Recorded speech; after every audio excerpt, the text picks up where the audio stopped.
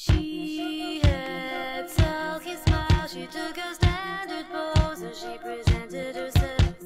She had sultry eyes. She made it perfectly plain that she was his for a price. But he said, "Leave me alone. I'm a family man, and my back is much worse than my bite." He said, "Leave me alone. I'm a family man. If you push